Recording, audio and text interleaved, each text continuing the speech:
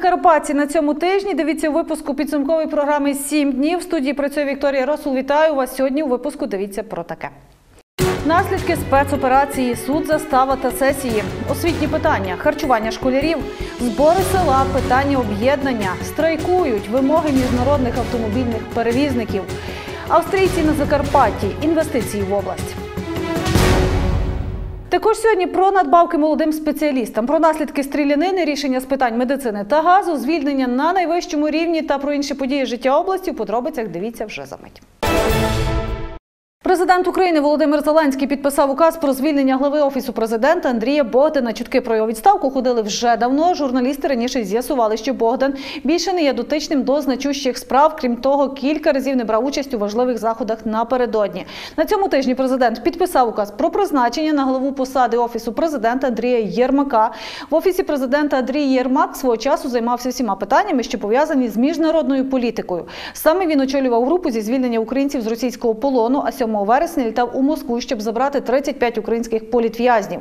Також Єрмак брав участь у підготовці зустрічі лідерів країн нормандської четвірки та зустрічався в Мадриді з адвокатом Дональда Трампа Руді Джуліані. Сам Єрмак наголошує: я працюю з президентом і на президента інше мені не цікаво. І до подій на Закарпатті. За результатами стрілянини в Мукачеві, яка в п'ятницю 7 лютого сколихнула всю країну, в суботу, 8 числа, на посту Нижні ворота була проведена спецоперація, в результаті якої затримали двох осіб. В повідомленні МВС щодо цієї події говорили. Отримавши оперативну інформацію, оперативники управління стратегічних розслідувань в Закарпатській області, Нацполіції, спецпризначенці, співробітники Служби безпеки України, детективи ГУНП спільно з прокуратурою області провели спільну спецоперацію для затримання учасників злочинного угруповання, які планували встановити контроль над регіоном. Кінець цитати. За інформацією правоохоронців, учасники були озброєні, тому прийняли рішення про залучення до поліцейської операції спецпідрозділу КОРД та роту особливого призначення поліції області. Під час затримання особи, які перебували в автомобілях, чинили озброєний опір та намагалися втекти з місця події, кажуть у поліції. Однак їх затримали. В результаті ніхто не постраждав. Понеділок, 10 лютого, у Ужгородському районному суді відбувся розгляд клопотання слідчого про обрання запобіжного заходу двом особам Євгену Дребітку та Ігору Смоляру, підозрюваним у посяганні на життя поліцейських. Нагадаю, 8 лютого на Закарпатті в селищі Нижні Ворота на Воловеччині під час спецоперації затримали сімох чоловіків. Як відомо, чоловіків, членів злочинного угруповання, яких затримали в селищі Нижні Ворота у Воловецькому районі. Під час затримання водій Мерседес-Бенц, 41-річний житель Мукачево, і водій позашляховика Тойота, 40-річний мешканець Вінницької області, нібито чинили опір поліцейським і намагалися зробити на них наїзд. Підозрювані ж усе заперечили. Я був витащений з переднього сидіння автомобіля з водійського, от, кинутий на підлогу. Е, транспортний засіб продовжував свій рух, так як я не встиг його поставити на режим. Це ви були за кермом Тойоти, я так? був за кермом Тойоти. В бумагах, які принесли мені, сказали, що я намірно задавив двох поліцейських. Нічого не порушилося, напевно, зупинитися не зупинилися. Вийшли з машини, дає відеофіксація, ні- просто положили на землю. Був ззаді один наш хороший друг, він сидів ззаді, то йому зразу як двері, били прикладами, я так розумію, що. Тобто прикладом розбили йому обличчя. На ваш... Ви бачили це чи ви так думаєте? Ні, я бачу. Я бачу, тому що я останній, ми зупинилися, я поки поставив на паркінг автомобілі, бачу, що витворяли. Хоча на, на вимоги відкривали двері, все, вони просто почали шкодити автомобіль, хоча не розумію зачем. Якби вони хотіли вийти, ми б просто сиділи в автомобілі, броньований. За даним фактом, правоохоронці розпочали кримінальне провадження за статтею 348 посягання на життя правоохоронця Кримінального кодексу. Підозрюваним загрожує від 9 до 15 років позбавлення волі або довічне ув'язнення. Також дуже хотів би суд звернути увагу з приводу того, що зазначений е, кримінуємий злочин дрібітку є особливо тяжким злочином згідно статті 12 Кримінального процесуального кодексу. Тобто е, зазначений кодекс, як вже було зазначено, що е, санкції статті даного злочину е, буде е, від 9 до 15 років. Суд відправив Євгена Дребітка під варту в СІЗО на 60 діб з можливістю внести заставу 315 тисяч гривень. Але підозрюваному все ж таки доведеться здати свій закордонний паспорт. Щодо Ігоря Смоляра, то йому також обрали запобіжний захід у вигляді тримання під вартою на 60 діб, водночас так само під заставу 315 тисяч. Наступного ж дня підозрювані вийшли під заставу, сплативши кошти. Того ж понеділка відбулася позачергова 20-та сесія Мукачівської районної ради 7-го скликання. Серед питань, які розглянули депутати, головне розгляд подій та їх наслідків 7 та 8 лютого. Сьогодні на нашій позачерговій, так можна її назвати, 20-й сесії е, районної ради сьомого скликання, ми розглядали чотири питання практично. Це основне питання було це звернення було депутатських фракцій про скликання позачергової сесії щодо ситуації, яка склалася 7-8 лютого 2020 цього року. По практично із засобів масової інформації всім відомо, що було у Мукачеві і у Нижніх Воротах. Районні депутати написали звернення до Володимира Зеленського та Арсена Авакова, аби ті допомогли врегулювати ситуацію на Закарпатті.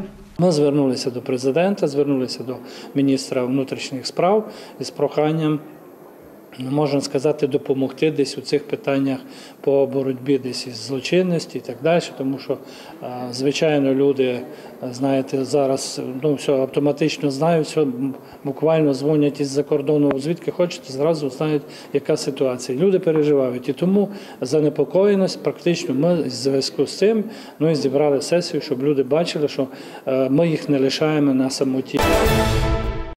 На позачергову сесію 11 лютого збираються депутати Закарпатської обласної ради. Основна причина реагування на події у Мукачеві. Сесія, попри те, що позачергова найдовша. Депутати слухають правоохоронців, сперечаються, вирішують звернутися до міністра МВС про найдовшу бурхливу сесію. Ірина Ковальчук розкаже у подробицях.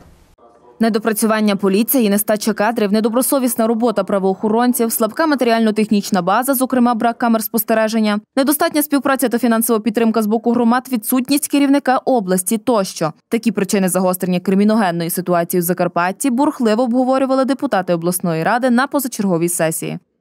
У мене є до претензії в тому плані, що він працює, можливо, недостатньо в цьому напрямку, хоча ситуація народилася не сьогодні. А запропонуйте міста Мукачева ще сім автомобілів муніципальної поліції, яких утримує громадськість, разом з екіпіровкою, з автомобілями, можливо, трохи якби відсторонити в плані фінансування, а додати вам ці гроші, купити насправді камери, які вам треба там цифрові, чи допомогти а, національній поліції реально працювати і завершити свою роботу. І крім того, прохання перевірити законність роботи муніципальної поліції в Мукачеві. Дуже багато нарікань. Я думаю, що десь вони перевищують свої службові обов'язки, займаються штрафуванням і залякуванням людей. Таких злочинів, такі як був оце зараз Мукачеві, кожен день. У Києві, Київській області, Дніпропетровській, Харківській скоюються. Чому там міські ради не звертаються до президента і до міністра про надання допомоги? Ніколи Закарпатська область не була бандитською областю. І не робіть, ви самі з цього робите. Як відреагували правоохоронні органи краю на стрілянину Мукачеві 7 лютого? Основне питання, яке найбільше цікавило народних обранців. На мою думку, основна причина це якість працівників правоохоронних органів. В першу чергу, звичайно, це поліції, і я не знімаю так само і питання до працівників прокуратури. Наразі відпрацьовуються основні дві версії скоєння злочину. Це вчинення злочину на ґрунті конфлікту між особами, які займаються протиправною злочинною діяльністю у місті Мукачево та Закарпатській області. А також вчинення злочину у зв'язку з замовленням вбивства. Наразі на території міста Мукачева проводяться оперативно-профілактичні заходи, спрямовані на стабілізацію криміногенної ситуації і службових розслідувань. Е, Це керівництво Мукачевського відділу поліції відсторонено. Один із керівників прийняв рішення пішов на пенсію, по інших е, на цьому тижні вже однозначно рішення. На рахунок причетності до розбірок в Мукачеві групи осіб, яких затримали на посту у нижніх воротах 8 лютого, проводиться розслідування. Журналістів обурив той факт, що очільник поліції на сесії звинуватив їх у поширенні власних версій перебігу подій, тоді як представники ЗМІ опиралися на офіційні дані прес-служби поліції краю. Розглядається версія про конфлікт між особами, які займаються е, злочинною діяльністю. Версію засобів масової інформації ну, можуть прокоментувати засоби масової інформації. При відпрацюванні ми затримали осіб, які пересувалися зі зброєю і вчинили замах на життя правоохоронців. 38 із 49 присутніх депутатів проголосували за рішення звернутися до президента України та міністра внутрішніх справ з проханням вжити заходів для стабілізації ситуації у краї, аби криваві розбірки та інші види злочинності, зокрема контрабанда, наркоторгівля та гральний бізнес, не розхитували Закарпаття. Очікуємо е, зміну якісну складу національної поліції на момент заміни кадрового е, кадрової ротації національної поліції в Закарпатській області, щоб вони нам надали підтримку по е, забезпеченню безпеки громадян, які проживають у Закарпатській області. Звернули увагу на те, що е, матеріально-технічне забезпечення національної поліції край край низьке. Ми хочемо, щоб на, на кінець Закарпаття перестало фігурувати як е, криміногенний край у о, засобах масової інформації. На порядку денному ще кілька не менш важливих питань. Так, з 1 квітня 2020 року в Україні стартує другий етап медичної реформи, який передбачає трансформацію другої спеціалізованої ланки. З 1 квітня е, всі заклади охорони здоров'я спеціалізовані переходять на нову модель фінансування. Національна служба здоров'я буде фінансувати тільки медичну послугу, а далі е, відповідальність на плечі е, лягає все місцевого самоврядування. А Національною службою здоров'я буде фінансувати тільки та послуга, які вони нададуть пацієнту. Наразі у краї триває підготовка медзакладів до змін, яка показала, що Закарпаття відстає від інших регіонів, має чимало проблем, з якими вже стикаються, і які ще попереду. Мова йде про гальмування процесів контрактування і ліцензування. Лікарі не готові до кодування діагнозів. Гостро стоїть питання кількості опорних лікарень, доля тубдиспансерів, психоневрологічних закладів тощо. Керувати нікому. І запросили старих спеціалістів, а до них представили комісарів. З деякого часу у нас почалася система, коли прямо поставили комісарів області. І е, ми отримали з роками, з часом ситуацію, яку ми мали. Я підтримую на 100% ту реформу, яка була задекларована і прийнята відповідними законодавчими актами. Хоча суть реформи, що ми не будемо фінансувати ліжко, ми будемо гроші за. Ліжко ніколи не фінансувалося. І державна субвенція розраховувалася на жителя. На кожного з нас всі тяжкі, кожного, які живуть, ходять, функціонують за межами цього праці. Тобто за межами піднялися певна сума грошей. Так? Приблизно 90 доларів. Питання відтермінування медичної реформи. Це було друге питання порядку денного, але воно голосувалося як третє. Ми його проголосували і, і за основу, і в цілому. Це перерахунок тарифів безпосередньо і відтермінування до кінця року медичної реформи. Це е, депутатський зал проголосував. Понад 400 мільйонів гривень спрямують з державного бюджету на 105 закарпатських об'єктів автомобільних доріг загального користування місцевого значення, перелік яких затвердили депутати. 80% – капітальне будівництво і ремонт, решта середній поточний ремонт доріг. 5 шкіл, 5 садочків, 5 об'єктів е, по спорту, а також 8 об'єктів це медицина, під'їзних доріг. На сьогоднішній день, вчора, був опрацьований е, перелік доріг першочергово до цих об'єктів під'їзних. Для того, щоб Закарпатська область не звучала в загальній Україні, що ми не подали перелік об'єктів по дорогам, на сьогоднішній день в подана пропозиція по тих об'єктах, де є першочергові. Це 23 об'єкти. До порядку денного включили і наболіле питання – відокремлення плати за доставку газу. Для роз'яснення запросили очільника акціонерного товариства «Закарпатгаз». Не може бути газопровід чи обладнання на ньому в тому стані, як він був введений в експлуатацію новенький. На нього елементарно е, впливають як фізичні процеси, так і, хімі. І це все потребує утримання, обслуговування, регламентного обслуговування, модернізації, реконструкції. За ці ці роботи це кошти на утримання підприємства, включаючи слюсарів, механіків, які обслуговують десятки тисяч кілометрів частини газових мереж в області. І від того, і е, в якійсь мірі воно правильно, можливо, що не має бути ця плата, залежно від того, відкрили ви дома крані чи закрили. А має плата, той же слюсар має отримувати ту зарплату, і відповідно е, це, ця е, стабільна частина має бути. 1 тисяч 700 кілометрів газопроводів на території Закарпаття, 27 тисяч абонентів, понад 2 тисячі бюджетних установ, майже 5 тисяч промислових та побутових об'єктів, 616 релігійних організацій щоденно обслуговують тисяча працівників Закарпатгазу. На питання щодо якості газу очільник підприємства запевнив, що відповідає держстандартам України. відокремлення е, питання про транспортування газу. Воно потрібно для того, щоб е, населення могло придбати у подальшому від не тільки від Нафтогазу, який має мільйонні доходи і все вкладає, тарифікує у ціну за газ. А можливо, будуть закордонні компанії, можливо, е, е, якісь приватні інші компанії, які будуть могти продавати безпосередньо вам, як учаснику ринка, газ дешевше. Мережі це не їхні. Мережі належать комунальним, комунальним службам, тобто це вона належить містам і належить е, безпосередньо громадам. Тобто вони їх тільки обслуговують. І фактично воно би мало бути е, правильно називатися за обслуговування е, магістральних, е, магістральних мереж, по яким е, подається газ. І фактично ми зрозуміли на те, що шукати проблему у здешевленні газу треба у безпосередньо вартості газу. Це, це має відкрити ринок. Газове питання буде винесено на наступне засідання сесії обласної ради.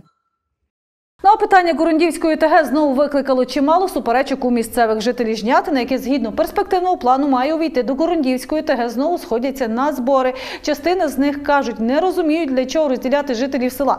Тим більше, коли вже проведені вибори до Горундівської ТГ, затверджені всі положення. Інша частина жителів продовжує заявляти про своє бажання добровільно приєднуватись до Мукачівської міської ОТГ. Тож більше про те, чому не дали слово голові Горундівської об'єднаної громади, якого на ці ж збори запросили. Про баталії під час виступу окремих сільських депутатів та навіть спроби нанести тілесні ушкодження, розкажуть мої колеги. У неділю 9 лютого в селі Жнятино відбулися місцеві збори. Головною метою зустрічі була потреба людей обговорити питання створення об'єднаної територіальної громади. Зараз ми зібралися тут для того, щоб знову висловити наше бажання, що ми хочемо. Ми посилали е, наші документи в Київ, у міністерство, у адміністрацію. Ну щось нас щось не хочуть почути. За словами Івана Ороса, людям навіть не пояснили, чому ж приєднання до Мукачівської ОТГ неможливе. Без нас нас пририсували до Горонди, і ми не знали. Тобто нас ніхто не просив і не звідав. Хочемо, не хочемо. Був присутнім на зборах і голова Горондівської ОТГ Іван Туриниця. Чоловікові навіть не дали можливості висловитися і пояснити, чому в обласному керівництві не дають добро, так би мовити, на приєднання до Мукачівської міської ОТГ. Ні Іванові Туриниці, ні жнятинським сільським депутатам слова не дали, не поважаючи думки меншості людей, які підтримують приєднання жнятина до Горондівської ОТГ. Всі, хто в інтернеті прозвучало запрошені, і начальники управлінь, і департаментів ОДА поняття про цю зустріч не мають. Це перше. Я принципово на неї пішов. Мені показали через інтернет, тому що мене теж ніхто не запрошував, щоб не було, що вирішується доля, а я не прийшов, щоб не спекулювали. Я зрозумів, що я прийду, мені не дадуть слово. не тільки, не тільки венгерської сторони. Я би хотів дати слово Городівському, голові Городівської ОТГ, щоб він розказав. Але у Фейсбуку є запрошення Горондівської ОТГ. Є запрошення. Ми були свідками того, як один із жителів Жнятина вирвав мікрофон з рук місцевого депутата, не даючи можливості йому висловити свою думку.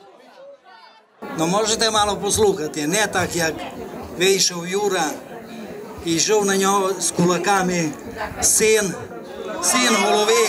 Дотепер ми жили нормально, нормально село із мадяри із жнят із руським кінцем, а наш голова ро- зробив роздор. Хотів сказати пару слів, пішов голова і, с- і його син. Нас почти витолкали від мене і Юру, Юру депутата, е, голови син, хотів його навіть вдарити. Чому Дельцину ви дозволили, а вам ні? А чому не вам не дозволили? Тому що є 30 кілометрова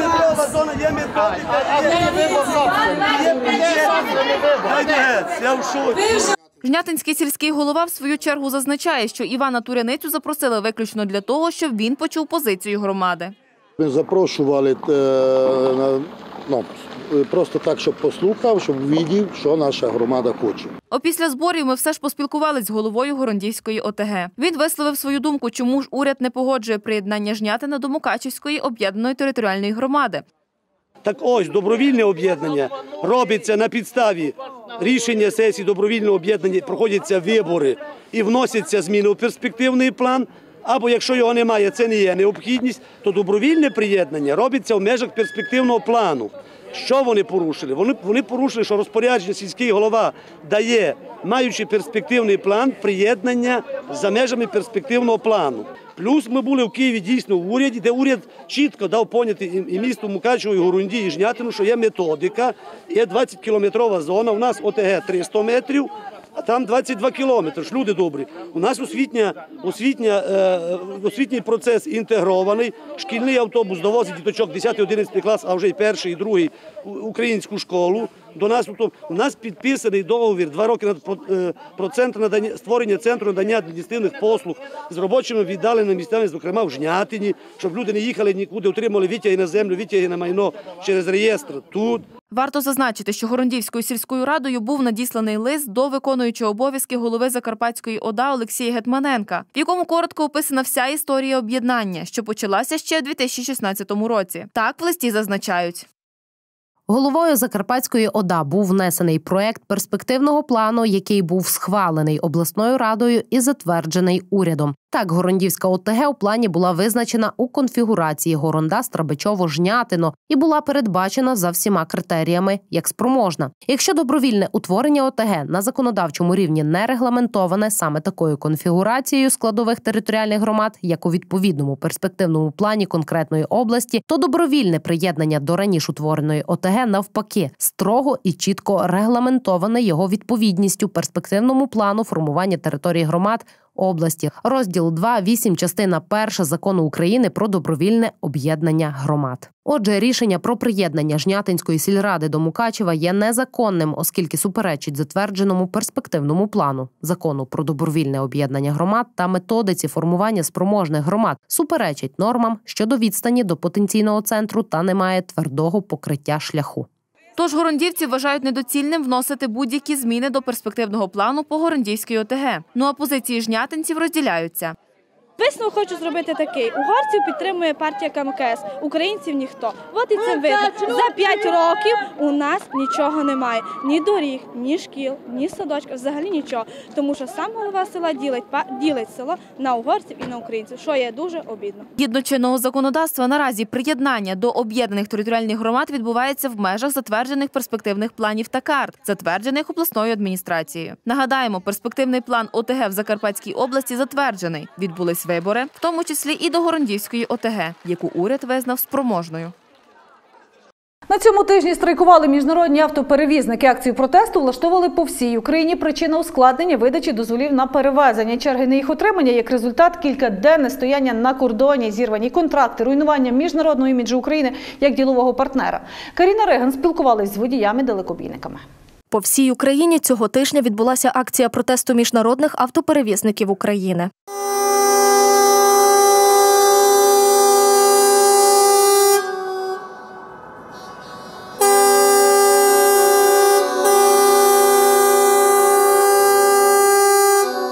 Долучились до протесту і на Закарпатті. Близько 30 вантажівок у знак підтримки акції вирушили колоною з Мукачева до Чопа.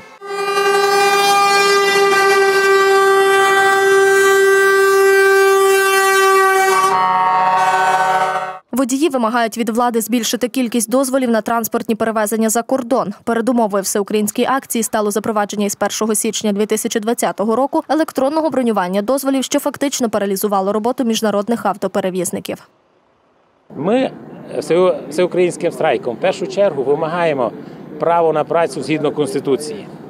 Першим, пер- першим, перш, першим ділом. Другим ділом хочемо, щоб е, чітко і прозоро було провед, е, видача дозволів, квотування дозволів була на цілий рік з пакетною видачею поквартально для всіх перевізників, для всього рівня, від великих до малих, щоб ніхто не страдав в електронному виді, а не так, як е, зробило зараз Міністерство транспорту і негайне відмінення бронювання, яке е, міністерство ввело, навіть з нами, не посовітувавши на початку, тобто в кінці грудня. Придумали систему бронювання, яка, яка практично не працює. У нас половина машин простоює у, у парках, вони не можуть нікуди поїхати, е, і нас ніхто не чує. У перевізників загалом 16 вимог. Так вони виступають проти повторного зважування вантажівок на важливих шосе. Вимагають звільнення міністра інфраструктури Владислава Криклія, нормалізації дозволів на міжнародні перевезення, вирішення проблеми черг на кордоні та низки інших питань. Раніше прем'єр-міністр Олексій Гончарук заявив, що уряд не планує відмовлятися від електронної системи видачі дозволів на міжнародні автоперевезення, проти якої зараз мітингують перевізники. Єдиною колоною з прапорами, на яких гасла із закликом до влади припинити знищення українського автоперевізника, водії та підприємці намагаються привернути увагу чиновників. Зараз чиновники згнали наших водіїв, які стоять по 2-3 2-3 доби за дозволами, як е, встояло, як коров зогнали, і люди мучаються, замість того, щоб побути разом із сім'ями. Щоб здати дозвіл, то теж є проблема, тому що треба вистояти чергу. А я приїхав з рейсу, вже уставший, хочеться додому. Вже, як кажуть, і, і по- постиратися, і помитися, а тобі треба там більше півдня простояти, щоб е, отримати той дозвіл. Найбільшого обурення викликало рішення про бронювання дозволів. 40% дозволів залишаються у вільному доступі, і їх може придбати будь-хто. Інші решта для електронного бронювання. У пункті видачі пояснюють, нова система дозволить полегшити процедуру. Тут отстоим суток двое-трое, потом коллега еще суток двое-трое на границе будем стоять. Такая жизнь наша.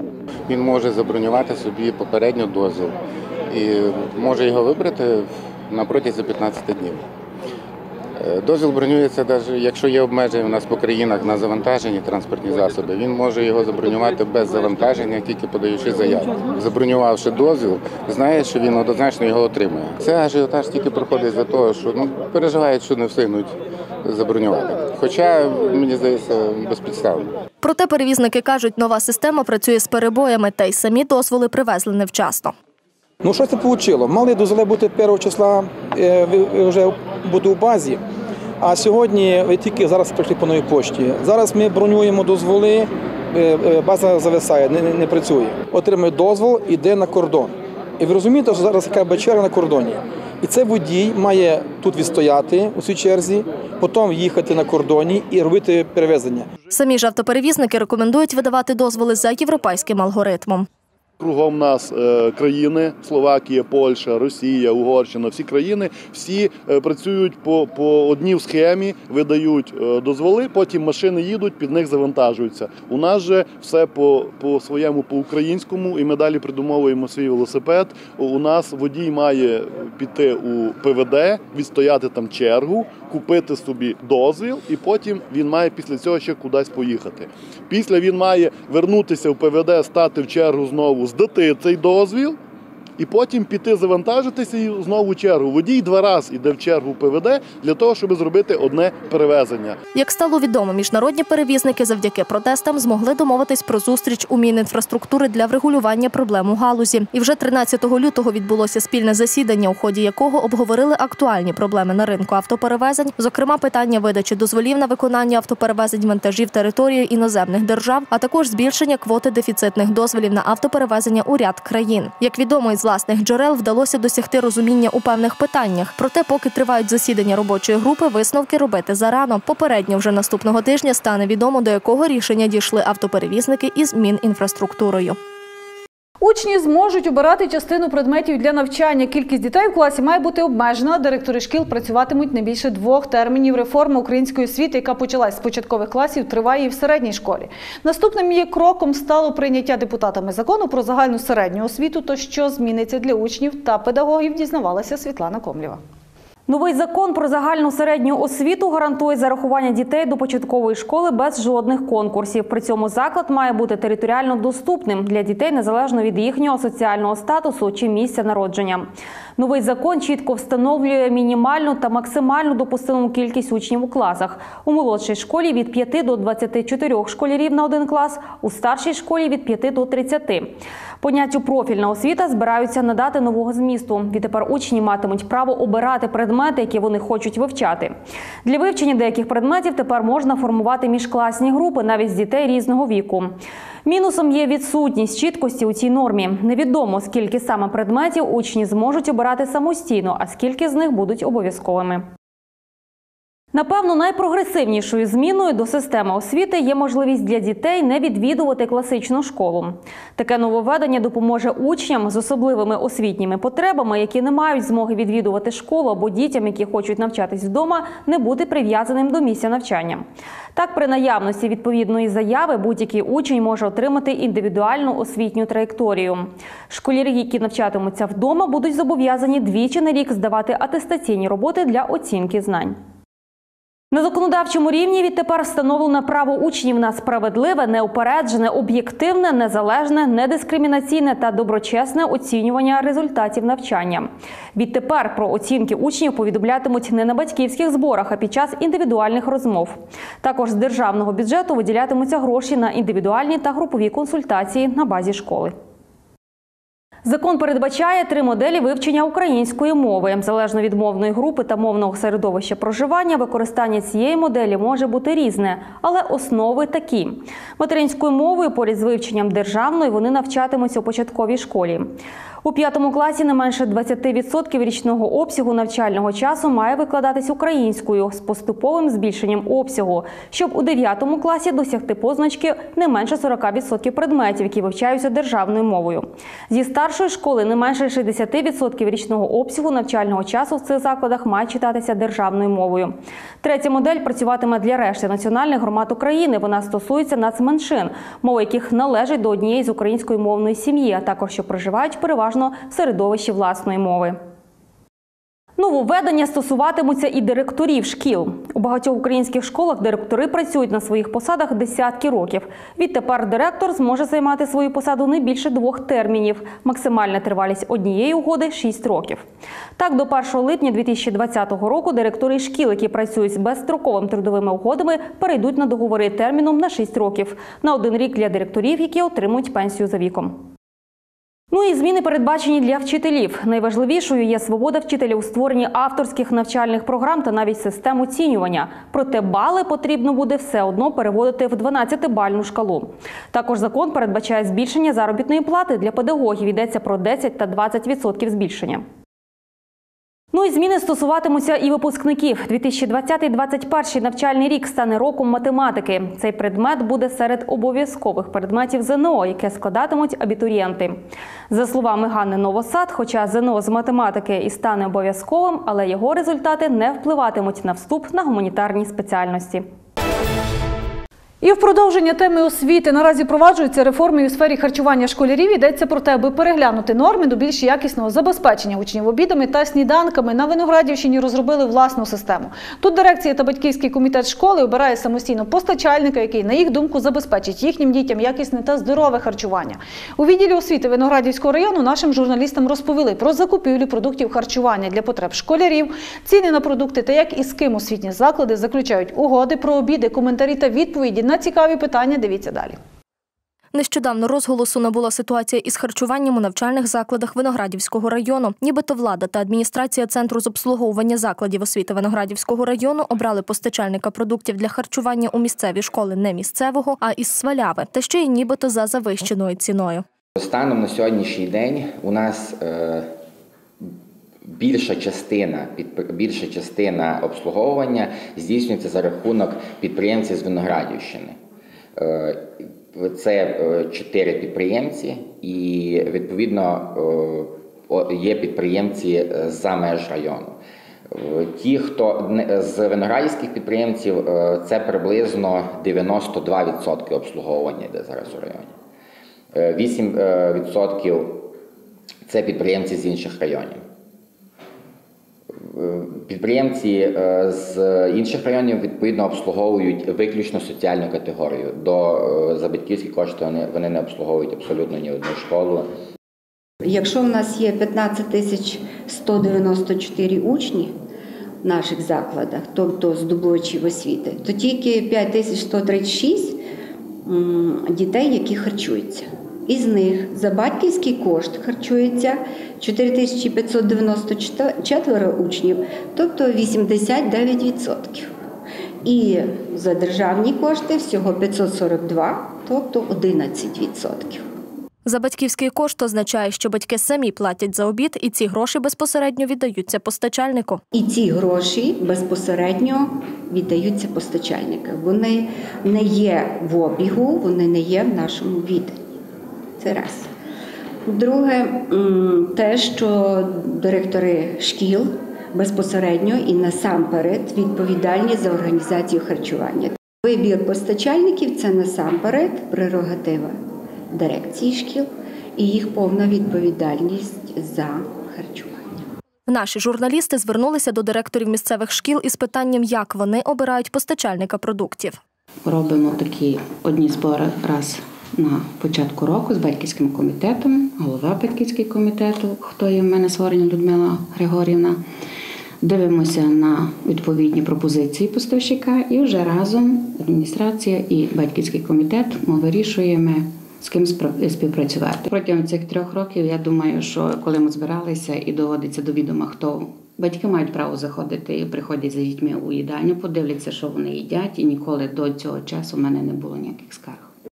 Я думаю, постачальники так само зацікавлені е, постачати нам з такою ціною, яка цікавить батьків.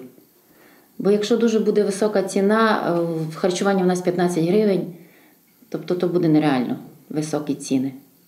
Перше за все, це вимога, щоб продукція була якісна, щоб е, були прийнятні ціни і е, відповідні е, нормі відповідні документи щодо санітарного режиму. На останній сесії районної ради гостро обговорювалося рішення про організацію харчування здобувачам освіти у закладах загальної середньої освіти та закладах дошкільної освіти Виноградівського району на 2020 рік. Згідно слів одного з місцевих активістів Миколи Лемка, якого пов'язують із місцевими бізнес-колами, районна рада обрала постачальником продуктів на харчування учнів пільгової категорії свалявського підприємця. І нібито ціни в цього постачальника на 20-30% завишені, на відміну від місцевих постачальників. Ми робили порівняльну таблицю по, по харчуванню, по продуктам харчування. У нас є просто, дивіться, тут е, постачаються продукти зі сваляви, зі сваляви, а в нас у виноградові дешевші ці продукти, розумієте? Тобто на 20-30% продукти дешевше виходять. Правильно, школа обирає. Якщо, якщо батьки фінансують, тобто оплачують повністю за харчування, тоді ж е, безпосередньо школа вибирає собі поставщика. Але якщо у поставщика немає договору з е, райради, з райради, тоді з цим поставщиком не може заключити договір е, школи. Звідки у громадських активістів така інформація невідомо, та чи не є це упередженою маніпуляцією даними, які насправді не є публічними, можемо лише здогадуватись. До слова, були присутні на сесії і ряд наближених до активістів директорів шкіл, які мають власне трактування рішень сесії.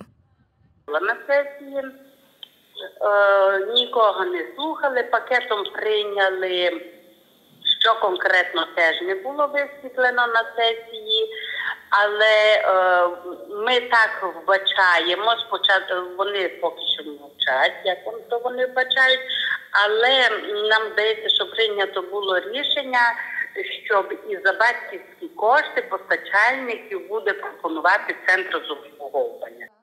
Насправді ці слова не відповідають дійсності, адже у рішенні сесії йдеться про те, що комунальна установа освіти здійснює виключно нагляд за якістю харчування і жодним чином не займається відбором постачальників за батьківські кошти, що чітко видно у рішенні сесії. Проте, згідно документів, наданих у центрі з обслуговування закладів освіти Виноградівського району, ціни насправді відрізняються, і у деяких позиціях вони на порядок нижчі, ніж про це заявляють активісти. До прикладу, ціна за фрукти, банани, апельсини, яблука у свалявських постачальників на 2-5 гривень менша. Згущене молоко у місцевих у середньому дорожче на 10 гривень. На інших позиціях ціна у свалявських постачальників дійсно є нижчою. За словами Юрія Свища, постачальника зі сваляви ввели вимушено. Адже у 2019 році по управлінню освіти проводився аудит західного регіону, під час якого було виявлено ряд порушень, зокрема привласлювання та нецільове використання бюджетних коштів у частині пільгової категорії. Нагадаємо, у той час до керівництва освіти Юрій Свищо відношення не мав. Або вони відсутні, в журналах енки не стоять, е, дитина начебто харчується, а насправді в школі її немає. Так само було виявлено по різних е, категоріях продуктів. Е, Відповідно, було проведено, відповідно проводився аудит, і ці речі були виявлені. Чому це відповідальність безпосередньо керівника, і в даному випадку, е, тому що він контролює якраз і здійснює нагляд за цими речами керівника е, закладу освіти. Після цього було прийнято рішення, цитую, унеможливити дотик між керівником навчального закладу та місцевого підприємця. Було прийнято рішення е, про те, щоб не було дотику між керівником на- навчального закладу і місцевим підприємцем, щоб зайшла якась стороння фірма чи підприємець, який не знайомий ні з ким, і який виключно буде здійснювати е, поста- постачання продуктів, щоб на цьо, щоб практично унеможливити зловживання е, яке призводить до обкрадання е, безпосередньо наших дітей. Тому немає дотику між двома особами і відповідно мінімалізуються всі ризики, які стосуються недоцільного використання бюджет, нераціонального використання бюджетних коштів.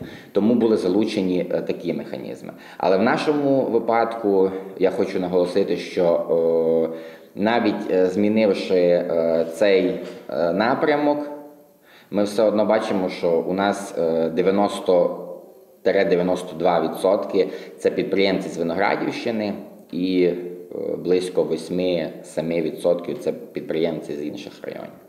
У Виноградівській освіті кажуть, очевидно, так звані активісти мають на меті дискредитувати їхню установу та збурюють суспільну думку, адже очевидно переслідують власну мету. Тож у цій історії крапку ставити рано. Нагадаємо, що питанням харчування у школах займаються батьківські комітети та дирекція, які обирають постачальника на власний розсуд, зважаючи на якість та ціну. А для дітей пільгових категорій харчування забезпечують силами центру з обслуговування закладів освіти. Говорити про порушення, які установі закидають активісти, як кажуть освітяни, щонайменше недоречно, адже всі закупівлі проводять згідно чинного законодавства та під суворим контролем контролюючих органів. Ймовірно, існують інші причини розтмухування штучних конфліктів. А народні депутати з групи довіра, серед яких закарпатці Роберт Горват та Валерій Лунченко зареєстрували у Верховній Раді законопроект про державну підтримку молодих фахівців у галузях освіти та медицини. У разі ухвалення закон дозволить щомісяця виплачувати працівникам додаткові надбавки в розмірі від 100 до 20% посадового окладу протягом 5 років роботи. Про ініціативи, що повинні підтримати молодих спеціалістів, розкаже Світлана Бабуська. Народні депутати з групи довіра, серед яких закарпатці Роберт Горват та Валерій Лунченко, зареєстрували у Верховній Раді законопроект про державну підтримку молодих фахівців у галузях освіти та медицини. У разі прийняття закон дозволить щомісяця виплачувати працівникам додаткові надбавки у розмірі від 100 до 20% посадового окладу протягом 5 років роботи. Як пояснив один із співавторів законопроекту, народний депутат України Роберт Горват, фактично мова йде про доплату до заробітної плати протягом перших п'яти років працевлаштування. Депутати пропонують здійснювати її наступним чином. 100% посадового окладу протягом одного року працевлаштування, 80% протягом другого року працевлаштування, 60% протягом третього року працевлаштування, 40% протягом четвертого року працевлаштування та 20% протягом п'ятого року працевлаштування. Ми зареєстрували законопроект, де я співавтором е, про підтримку молоді. Це стосується освітньої сфери медицини, молоді спеціалісти, які е, починають працювати. Мова йде про те, щоб е, держава надавала субвенцію органам місцевого самоврядування. Законопроект номер 2826 дозволить зробити роботу для молодих фахівців, медиків та освітян більш привабливою та краще оплачуваною. Звісно, цей проект не вирішить усіх проблем, з котрими нині доводиться мати справу фахівцям обох галузей чи загалом ринку праці в Україні. Однак сподіваються, молоді люди зможуть частіше залишатися вдома та реалізовувати себе в обраній професії замість того, щоб шукати щастя за кордоном.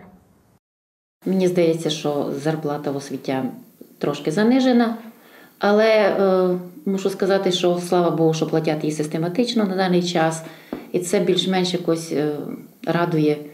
Але якщо брати чесно, то вчителі заслуговують на більше. На рахунок суми я не знаю, бо у кожного сума то людина по-різному вимірює суми, які її задовільняють. Але я рахую, що то, то би було добре, і якби воно дійшло до кінця, той закон би прийняли. Я думаю, що педагоги заслуговують на те. щоб праця директора, праця вчителя, праця технічного працівника, всіх людей, які працюють у навчальних закладах, була гідно оцінена і щоб вона відповідала цьому. Для того, щоб вони не їхали за кордон, шукати кращого життя, а розуміли, що держава піклується і допомагає е, для того, щоб люди відчували себе матеріально е, забезпеченими. За авторів законопроекту, запровадження такої допомоги вимагатиме щонайменше 4 мільярдів 800 мільйонів гривень. Вже у перший рік дії закону запровадити його пропонують із січня 2021 року. На думку авторів, реалізація цієї норми має зменшити відтік молоді із освітньої та медичної галузей та подальшу їх еміграцію за межі України. Далі про інвестиції в Закарпатті. Австрійська делегація перебувала з робочим візитом в нашому краї. За круглим столом обговорили українсько-австрійські стосунки, намітили вектори співпраці з підприємствами Австрії та нові підходи для залучення інвестицій у економіку Закарпаття. Детальніше про напрямки майбутньої співпраці розкажуть мої колеги. Перезавантажити українсько-австрійські відносини, перейняти досвід, аби запровадити в економіку Закарпаття, залучити австрійських інвестицій у спільні проекти та сформувати дорожню карту співпраці. Така основна мета зустрічі австрійської делегації із представниками обласної влади, бізнесу, науки та освіти, яка пройшла у Закарпатській ОДА. п'яти основних таких напрямках. Це перший це будівництво доріг і автобан, другий це авіаперевізники і ваш досвід у цьому питанні. Третє це поводження з твердими побутовими відходами, розвиток рекреаційних комплексів, почути від вас е, проблеми, напевно, тих підприємств або тих ситуацій, які є, працюють на сьогоднішній день в Закарпатті, чим ми можемо бути корисні і допомогти їм ну, в реалізації їхніх планів. Інвестиційні проекти повинні входити у план розвитку Закарпаття, бути частиною стратегії регіону, аби кошти, які впливаються інвесторами в економіку краю, сприяли створенню робочих місць із гідними зарплатами, ефективному використанню його потенціалу. Одним із пріоритетів є зміцнення транскордонного співробітництва. Область має співпрацю і контакти з 20 регіонами різних держав Європейського Союзу. Сподіваємося у плідній співпраці з Австрією. Ключовою галузю нашої співпраці буде і має бути туризм. 51% всієї площі Закарпаття покрита лісом. Ми поклали мораторій на вивезення кругляка. Хочемо розвивати деревооброблю, значить, галузь економіки деревообробки. Чекаємо інвесторів. Слідуюче питання це екологія. І будуть інвестори, які вкладають сюди гроші, щоб побудувати заводи по переробці твердих побутових відходів. Закарпаття регіон з великим потенціалом. Крім того, межує географічно із Євросоюзом, а Україна обрала шлях до євроінтеграції. Це спонукає до транскордонної співпраці. Австрія є важливим інвестором для економіки України і Закарпаття, зокрема, оскільки вже давно налагоджені між країнами стосунки. Маємо багато плюсів від такого співробітництва, тому будемо й надалі співпрацювати. Чимало австрійських та спільних українсько-австрійських підприємств вже працюють у краї. Зокрема, Фішер Букачево, термінал Карпати, Блайзард Продакшн тощо. Австрійські бізнесмени могли би зацікавитися проектами. Це по зберіганню і перевантаженню зернових, створенню хабів, по перевантаженню руд, залізничної руди, е, ну і багато інших. Головним завданням на сьогоднішній день це треба е, зустрічі з бізнесменами Австрії, де би вони зрозуміли, що е, і на території України можна прекрасно працювати, і щоб в них був інтерес вкладувати інвестиції наш, наші підприємства. обмін інформацією для того, щоб зрозуміти потреби е, обох сторін і далі рухатись по вдосконаленню, по програмі, про якісь можливо розробити програму, е, тому що австрійська сторона е, дуже гарно співпрацює з різними країнами і, можливо, залучимо європейські якісь фінансові установи для того, щоб зробити план розвитку і далі йти по кроково його е, впровадженню. Торкнулися також співпраці з Ужгородським національним університетом, адже завдяки цьому чимало було зареєстровано патентів у сфері електроніки. Крім того, налагоджений обмін студентами та викладачами, реалізовані спільні проекти тощо. Цей напрям і багато інших планують розвивати найближчим часом. Чудова логістика, 500 кілометрів, спільна культурна історична спадщина. Як поєднувати альтернативну енергетику, як поєднувати вітроенергетику, малі гідроелектростанції, сонячну енергетику, біогаз на території одної громади. Австрійський досвід екоенерголандів це чудо. Досвідом співпраці поділилися австрійські візитери на прикладі Словаччини. Запропонували подумати, крім інвестицій, про інші види співпраці, зокрема, створювати спільні підприємства, брати участь у виставках, подавати ідеї у сферах сільського господарства, смарт тощо, оскільки відкриті до пропозицій. Сподіваюся на подальшу співпрацю, що вдасться створити умови для того, аби зустрілися представники бізнесу України і Австрії. Адже коли зустрічаються люди, завжди виникають нові ідеї, які можна буде втілювати. Ця зустріч, сподіваюся, сподіваюсь, стане початком нових відкриттів певних заводів, туристичної інфраструктури. Тут дуже добру роль відіграє ваш досвід. І наша робоча група, яка буде разом з вами напрацює інвестиційні конкретні проекти. У Закарпатті буде створена робоча група для розробки конкретних проєктів, які презентують австрійським інвесторам на бізнес-форумі, який планують організувати найближчим часом. Захід повинен стати майданчиком для обговорення ідей, обміну досвідом і створення підприємства у пріоритетних сферах. Ну і насамкінець на цьому тижні закарпатці переймалися не тільки стрілянинами, криміналом та політикою. 14 лютого традиційно відзначили День Валентина, всіх закоханих, квіти, подарунки, приємні слова та зізнання, попри не надто романтичну погоду, адже в повітрі відчувалося справжнє кохання. Гіацинти, еустоми, ромашки, тюльпани, троянди, великі композиції та квіткові мініатюри. Ми вирішили з'ясувати, що ж дарують закарпатці своїм коханим в найромантичніший день в році День Святого Валентина. І справді, у найромантичніше свято року, певно, без квітів не обійтись. Символом святого Валентина споконвік була червона троянда. Однак зараз асортимент квітів у флористичних крамницях настільки широкий, що квіткова королева вже не користується такою, як раніше, популярністю. Сьогодні в моді щось нове, яскраве, неординарне. Хлопці обирають е, тюльпани, наприклад, різні різних сортів. Е, Троянди також, але можу сказати, червоні, ну як класичні такі червоні троянди, вони підходять більше на задній план, якщо можна так виразитися.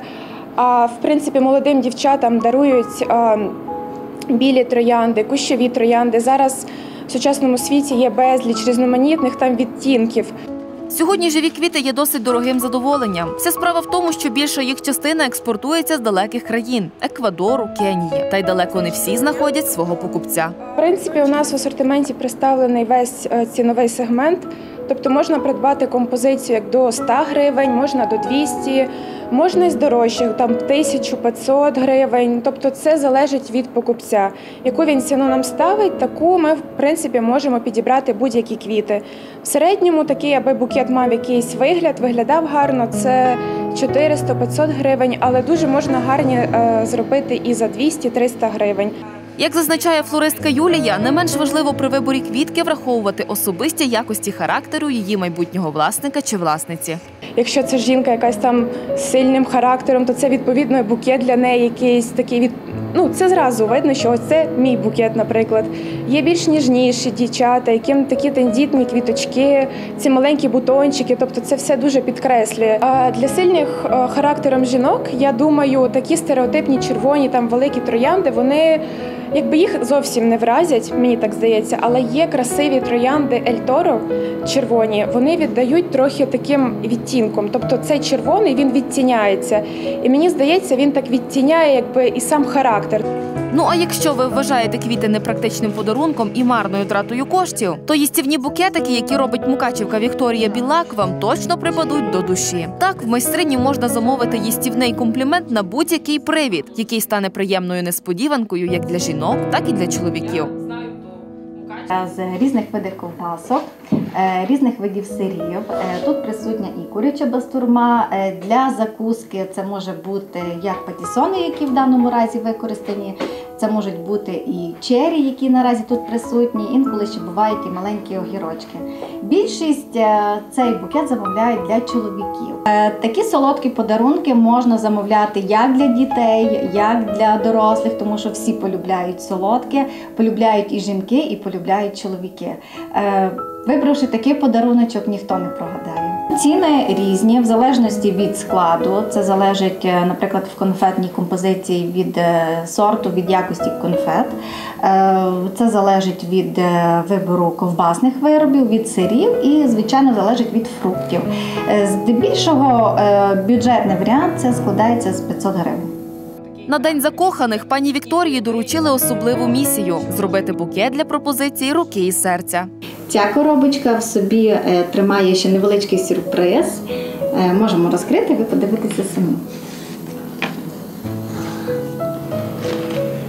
Це є смачні цукерки. Він адресується е, дівчині, якій хлопець буде пропонувати вийти за нього заміж.